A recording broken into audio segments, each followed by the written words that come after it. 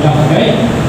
Uh, Kapitulo 2, versikulo 3 sa 9. Yung pahayag diri verse uh, uh, 2, Who of you is left who saw this house in its former glory?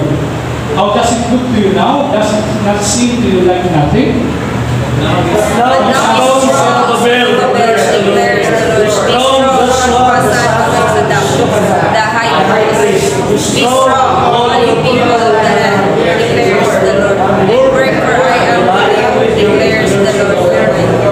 Verse 5 says, This is what I covenanted with you when you came out of Egypt. My spirit remains among you. Do not fear. Verse 6 go. This is what the Lord Almighty says. In a little while, I will once more shake the heavens and the earth, the sea and the dry land. Verse 7 I will shake and what is desired by all nations will come, and I will fill this house with glory, says the Lord Almighty. Okay, verse 8. The silver is mine and the gold is mine, declares the Lord Almighty. Okay, so verse 9 altogether, the glory of Greater than the glory of the house, says the Lord Almighty. In this the grand Magkapabuyo kita. Ang may kabalaan sa active sila nga tipon, na kami naman Lord God, din. Tipon, na kami Lord God, kaya Lord God sa opportunity to uh, worship you or to listen and learn the words, the precepts of the truths found in your book, Lord God. Salamat Lord, sa iwan. Wala ka na pangabay sa iyong pag-iya. Huwag kita ako. Ikaw, God, ang mapapuno sa mga katawan, Lord God. Give us also, Lord God, the whole being submerged at the same time surrender, Lord God, for your authority, the presence of the Holy Spirit that is us this morning. Thank you for everything, Lord God. All this we pray in your Son, Jesus Christ, our Lord and Savior. This we pray. Amen. Amen. Magaling po mga kapatid. So this morning, brethren, allow bring the uh, message entitled, Do not or don't be disappointed. The word disappointment speaks about things that we want to happen, but did not. Tama, no? May mga bagay ka na expectations na gusto mo lagi may tabo, pero wala na tabo. Okay? That's why it comes into a point wherein you feel, okay, disappointed. And this involves the mental, mental aspects ng ating kapatid. Yes, probably sa secular na kaisipan, ang atong is gusto ko kanin, hindi man nabuo na I was so disappointed, wala na. And you feel wag na, don't set. You are disappointed, tas man, hindi emotional. Okay, you cry, you feel the sorrow, you feel anything, yeah, uh, hanggang subuan ka, wala, pain as well. Ano? But you see, you'll see different kind of disappointment, the spiritual ones. There is disappointment na makita nato. May matunan kita sa pagbasa diri. As part of the introduction, let me now first, okay? Uh, Sir John, can you please uh, give us the original kaya bulan natin? First, aton niya, uh, aton niya, okay. Ang una lang, search. Okay, the introduction, um, ang natawag diri, uh, makita na doon, balikan sa school na. Okay, introduction na research. Okay, so, the prophet Haggai in 120 BC, dineclared again as part of God's judgment to the Israelites. Nga po sila in tribe of Judah. Kamo pangod sa inyo mag ah pag atong pagbiya pag wala sa pagsunod sa ako mando. Especially to the king. You will be found pag atong uh, judge. And it was fulfilled by the year 20, uh, 586 BC. Natabuhay na. Okay, after 60 years, 66 years. And then as you could see, the Babylonians, moreover, okay, sa pagkatong Israel. And definitely, they were enslaved. Again, esclavos sila. And the very significant symbol of, and of authority sa mga Israelites was the temple built in the time of Solomon. No? Didn't take over. It was totally in ruins. So, nagbalaan naman natin, but sa part Israel as a nation is there, what natin, being the chosen people. And the symbol of their being chosen of God is the temple built in the time Solomon. So after 19 years after nga sa pag-esclavo, esclavo sila, they were given the opportunity through their governor, Zerubbabel, to return to build the temple. So that's why kung tulungan natin mga kuturan, kamaan ka, importante ang history na makita natin niya ang natabuhin. Part of the life of all the Israelites. Okay?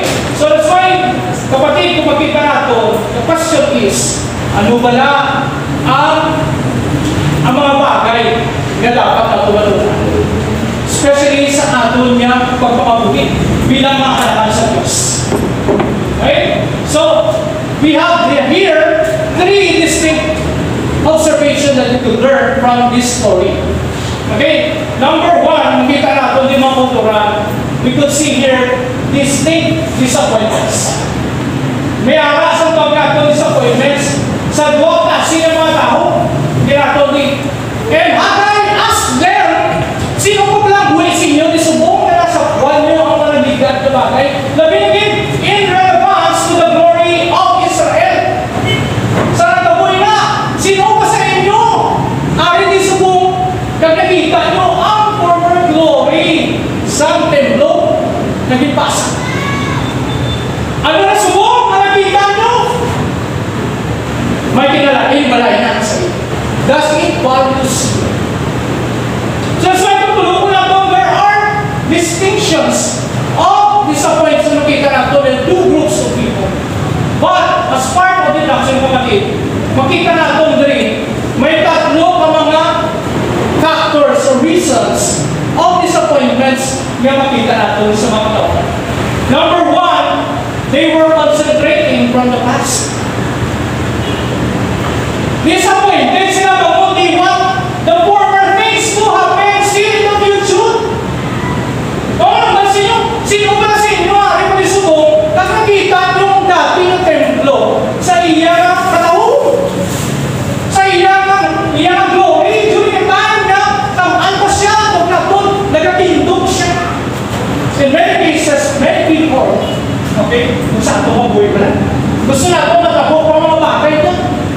Sa atong kabuhi, especially in case hindi pa kita Christian, we left everything for the Lord. Maayo ko sa una. Nga wala ko na po naging Christian, tapos na kabuhi ko. Okay lang po mag-party-party, okay, okay lang po mag-barkada, wala na rin barkada. Don't belong, magsugal, mag-ano, kailangan mo bagay, it seems time in the life of people who are living to live the past. Wala no? And number two, makita din natin sa ila. Uh, they are canceling reality. Mayo pa, wala na ito na Why mayo pa? Oh? So they cancel kung ano ang ginatabo sa present time.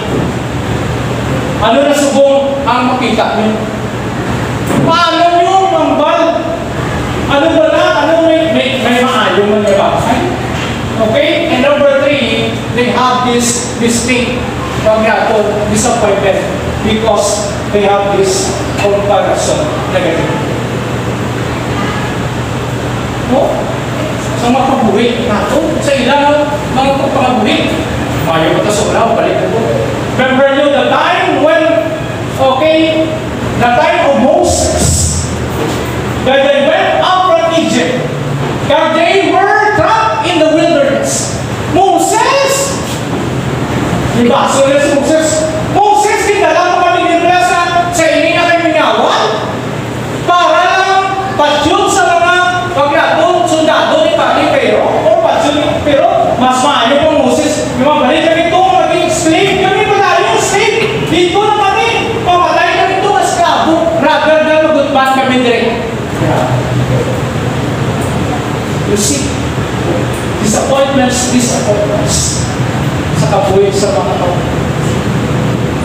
are there still living in the past. Not looking at the future. And they have these negative implications to what is happening sa ila present. Question ako muna. Tingin kita na. Disappointed ka ba na sa iyong present? And you don't want to leave, or you still want to continue on the past? No? Does it seem to you like nothing at all? Nanginginig ka sa aton. Hintagaan na kita sa atong kabuhi. Sila hintagaan sa opportunity magbuhat sa mga esklabo. Hintagaan sila sa opportunity makabalik sila bilang nasyon. Di ba? Kag mga katawhan na pinili sa Diyos, kag magkabuhi, nga maayo sa kabahan sa Diyos. But they have this disappointments too. Kamakita natin yung mga tao, nakatapos sa Kristiyano, they don't want to continue living as anymore. So hindi nila magulian ang kabuhi. Yan ang dahil nila. Remember mo sa forward glory, ang bilis sa templo for that, according to this study, mga 20 billion worth of pagkakot palamuti. May dugo. Grabe. Ang muna galing na ito na ito pinabagi na Solomon's treasure. Si Solomon, kaya sa kung naman binahandong sa subong sa mga panahon, mga treasure hunters, they are still magkakot looking for the Solomon's treasure. Diba? Ang Indiana Jones lang and the Temple of Solomon, kaya na.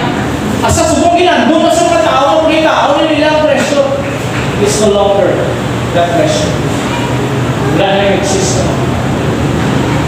In application sa kabuhay natin kapatid, okay, dwelling in disappointment results in the following. Yun ang minabutan yung motto. Number one, discourage. Discourage ko kay ano man yung mabuhay sa pagkatol na. Ano ba gin? This flesh. Siyempre, unsatisfied ka. Hindi ka na nalipay sa pagpamabuhay because you are still living in the past and you're still living in the flesh. You're still living on the comfort. You are still living, okay, on the things that you want to have. Former living, but you don't see the things that is right now. Number three daw, totoo, di man na ginoo. Tinitawag mo kami yung anak sa Diyos. Kaya ginoo, hindi na mo pareho sa una ang templo. Kaya hindi na ito mabalik, ginoo. Why na ito sa glory na wala sa bayan? Ito, wala ito. Now, God your life. Now, Next, displacement. Ayaw, sa mga hindi ka pa. Nakapadayo na. Makutura. Ano yung sa ato? Distinctions of our Catholic supporters. Ang taon nato ng Extra 3, 9, 13, do kasi nga tawag. During the time na gintukod ang templo, Joshua and sons and brothers and Gamaliel and the sons, descendants of Hodavaya and the sons of Kenada and their sons and brothers, all led Levites, joined together in supervising those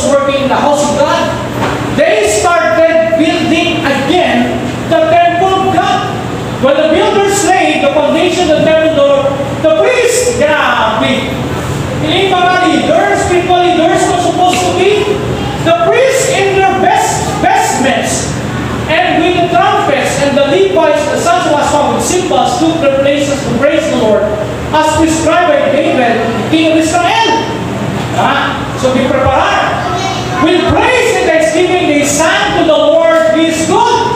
His love towards Israel endures forever. And all the people gave a great shout of praise to the Lord because the foundation of the house of the Lord was laid. Tara na. They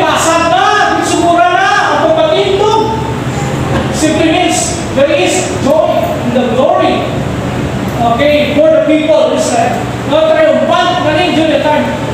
Pero isa naman ka grupo ng tao din. But many of the older, but many of the older priests and Levites and family heads who had seen the former temple, ang una na templo, were allowed naglilibi sila when they saw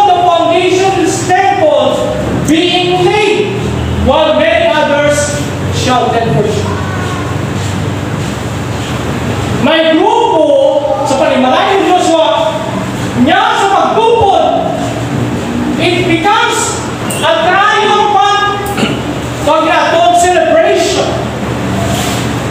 Pero may grupo niya, they found themselves disappointed. Unsatisfied. Nagbibig sila. No one could distinguish the sound of the shouts of joy from the sound of weeping because the people made so much noise and the sound was heard far away. The point of brethren, workers, mga tumuod, yung mga manubuhat para sa ginoo ang nagdayaw dito sa Diyos. But weepers pouted. Ano mo siya sa kapatid? Pero atong nagalandaw lang. Atong supposed to be pagkatong kapag absent ilang na itong national expectation did not come up to their standards. So they, they found this pagkatong unsatisfied.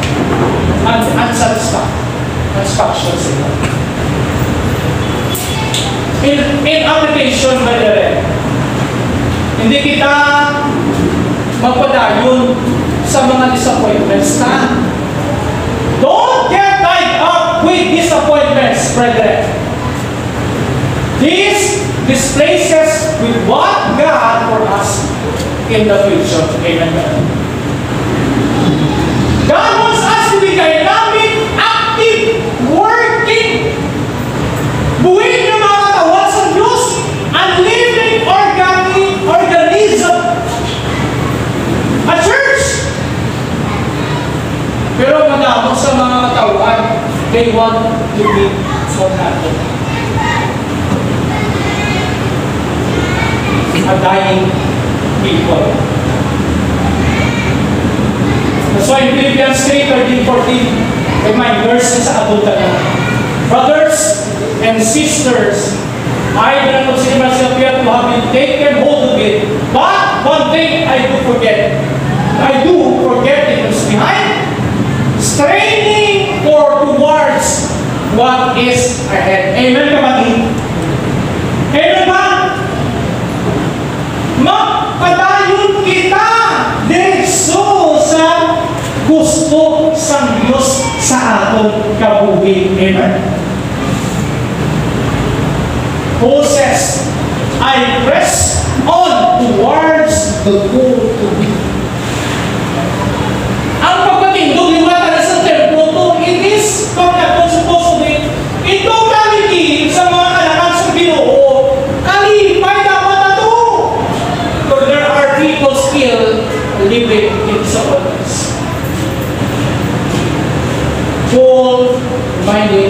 Once again this morning. Press on towards the goal to win the prize for which God has called us. Palagi. Amen. Amen ba? Heavenwards, not downwards in Christ Jesus. Wala pa pa magpadayon kita na makugi sa Ginoo.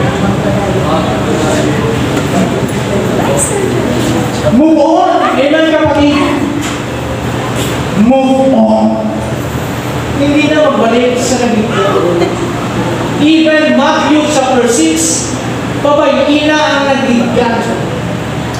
Do not worry about the things nga, yung po kay kabalo ng Diyos sa palaguyo. Move forward. Amen. Forward. Amen ba? Amen. Move forward. Kapay pa. Anong mga bagay na feel disappointed?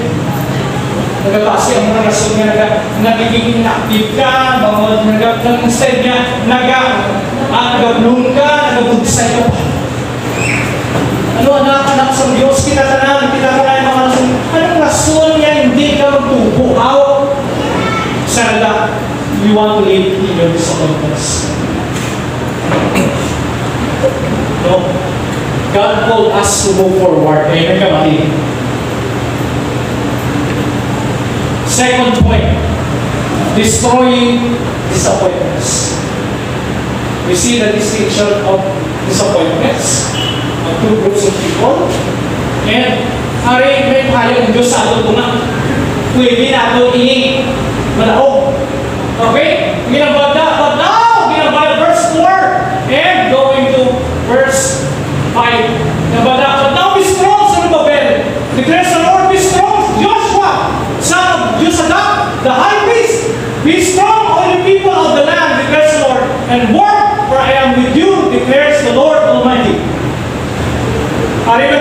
This is what I covenanted with you when you came out of Egypt, and my spirit remains among you, do not fear. It's what the Lord Almighty says, in a little while, I will once more shake the heavens and the earth, the sea and the dry land. I will shake all nations, and what is desired by all nations will come. And verse 9, uh, 8 and 9, the silver is mine, the gold is mine, declares the Lord Almighty. The glory of this present house will be greater, the former and the present house will be greater than the former house, says the Lord Almighty. And this place I will grant peace, declares the Lord Almighty. Brother, ang tutulong ko na to, ibalik na to kung paano na to malakot in disappointments. Number one, dwell in the declarations of the Lord. Number one, in verse 4, makita natin, He spoke, I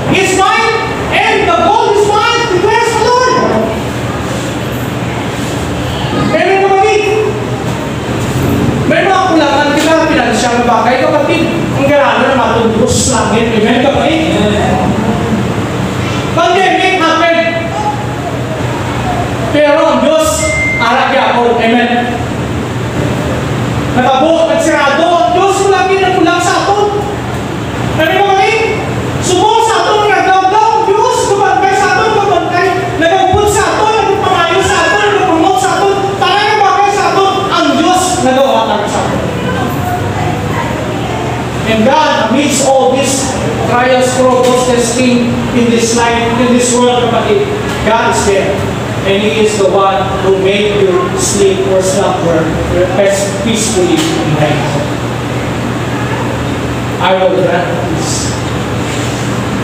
Ito kapatid. Okay? Sa imo ka buhi, focus ka sa disappointments mo. No? Focus sa ginadeclare sa Diyos. Palapakan natin ang ginawa sa God is there. God remains in us. God is all authority. God is sovereign. God is all powerful. God is rich. And God who will give us. That's why in application of the the temple established to David and Solomon for God. Wala na to. Pero ano yung kapatid ng mga lang, but the Almighty God remains forevermore. Amen, kapatid? Amen!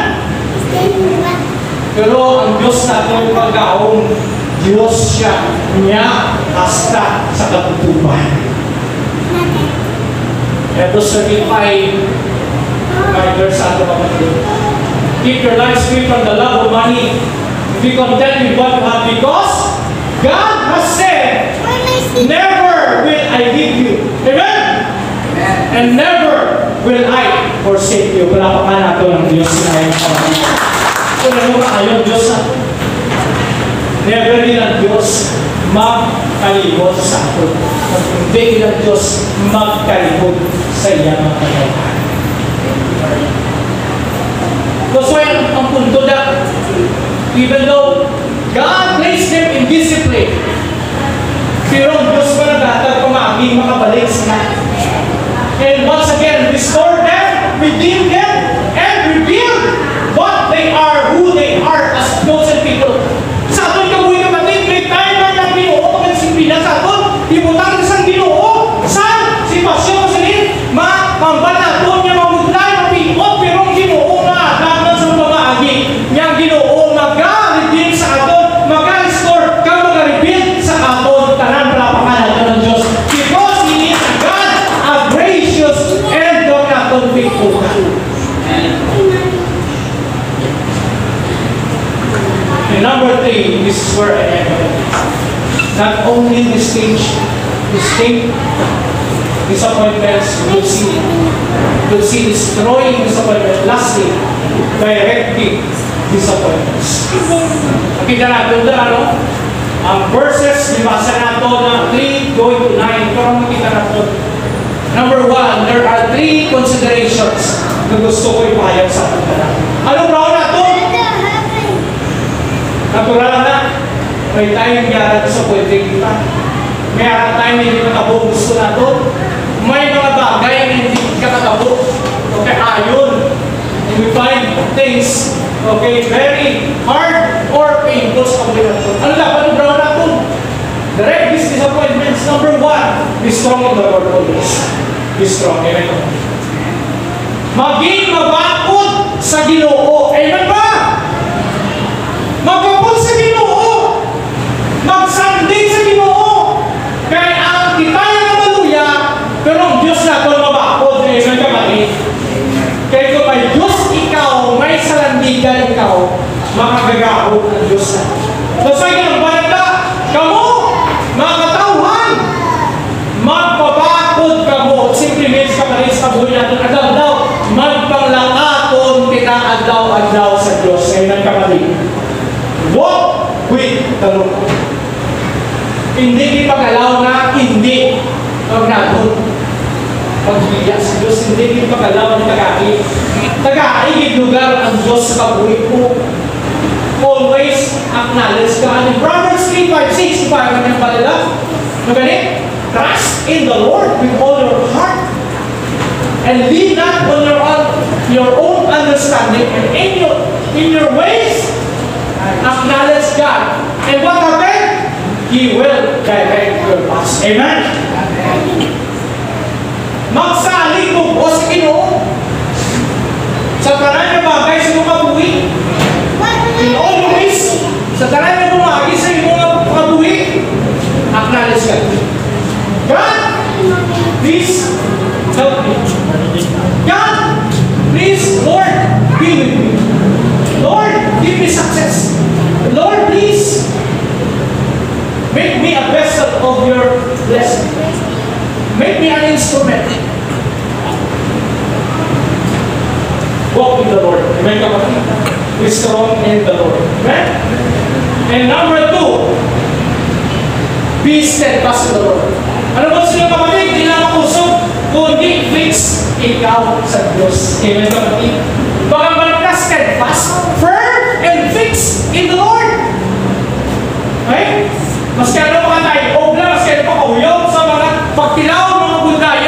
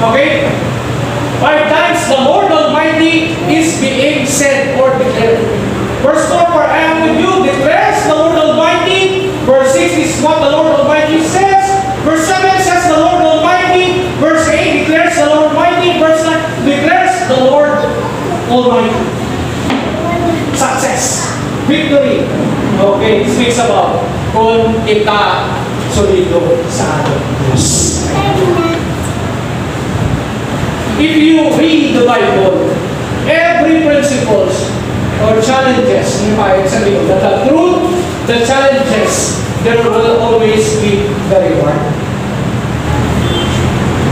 Nakapatid, ipahayag sa Diyos ang kamaturan, ipahayag sa Diyos ang mga challenge, pero always will put in a reward for those who will take the challenge.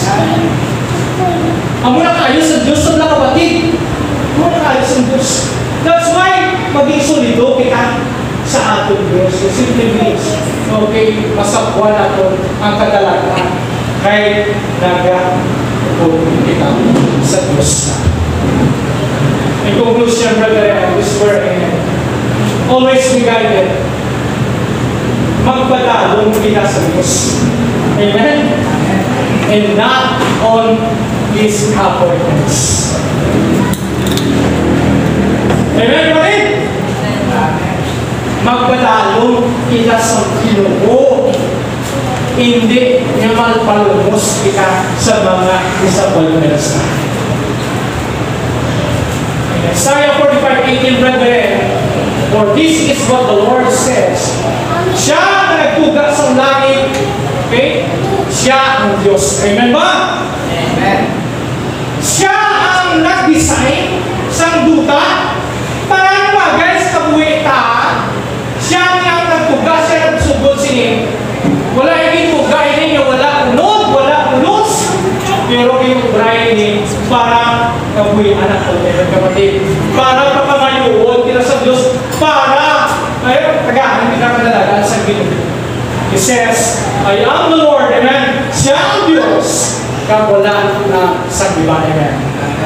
The point here, brethren, hindi ang disappointment, discouragement, kung ano pa ng mga negative na bagay ang maging Diyos na ito, kundi ang Diyos na natuga sa langit, sa duta, nagagal sa kabuhay, kag naghagag sa atong kadalagaan, mga pangalaton. Ang atong niya, ikaw, hindi sinin ang That's why, brethren, let's focus. Let us okay, continue with the Lord. So God bless ICN City. God bless sa ating tanan. Pray. Amay na lahat, salamat kit sa ano yung sabi. Ikaw, Lord God, mapakita sa kabuhi sa mga katawan mo. Even though you discipline them, but still your God, God will give to restore and build us. Ang kabuhi, Lord God, Sabay na itong anak mo, hindi kami mag-dwell sa inyong mga sa. But rather, let be, we will be